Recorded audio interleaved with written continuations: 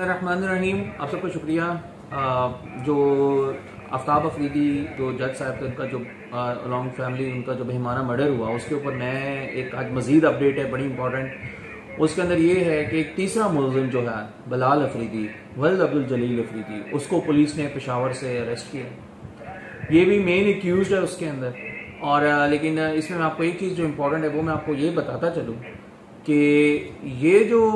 बिलाल अफरीदी है, ये एफआईआर के अंदर नॉमिनेटेड नहीं है। पुलिस ने अपनी एविडेंस की बेस के ऊपर अपना जो सरकमस्टेंशियल एविडेंस और जो दूसरी हमने अपनी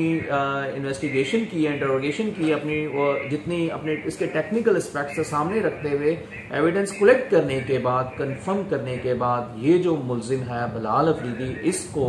पुलिस ने पिशावर से अरेस्ट किया है और इसका इस वकूए के अंदर करदार ये था कि ये एक मुसलसल इंफॉर्मेशन भी पास कर रहा था और ये विड्स गाड़ी के अंदर जो ऑलरेडी अक्यूज अरेस्ट हो चुका है दाऊद, उसके साथ ये गाड़ी के अंदर भी बैठा हुआ था। इसने पुलिस के सामने अपना कन्फेशन मुकम्मल कर लिया है। और उसके अंदर उसने ये सारा कुछ एक्सेप्ट कर लिया है कि किस तरह, जैसा आपकी गाड़ी को फॉलो कर रहा था, और फिर किस तरह बार इंटरचेंज के पास आके उसने उनकी गाड़ी को क्रॉस किया, और वो पायलट में हो गया, और पीछे से फिर किस तरह जो दूसरी पार्टी थी, वो उसकी आई। हम जो सवाबी पुलिस जो है, वो इसके ऊपर केस के ऊपर काम मजीद आगे कर रही है, और इनशाला इनशाला आई एम श्योर कि इन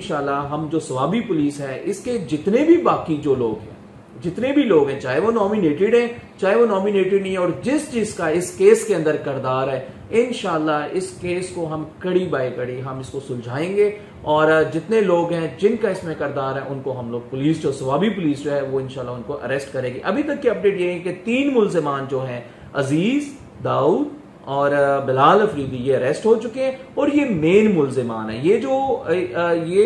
ये कोई उजरती नहीं है, ये जो ओपोजिट फैमिली है, जो जज जज साहब की जो जो मुखालिफ फैमिली थी, जिसके साथ पर्सनल एनिमिटी है, ये ये लड़के जो हैं, ये ये उस फैमिली में से हैं। आप सब लोग का बहुत शुक्रिया। मजीद अपडेट्स होंगी इनशाला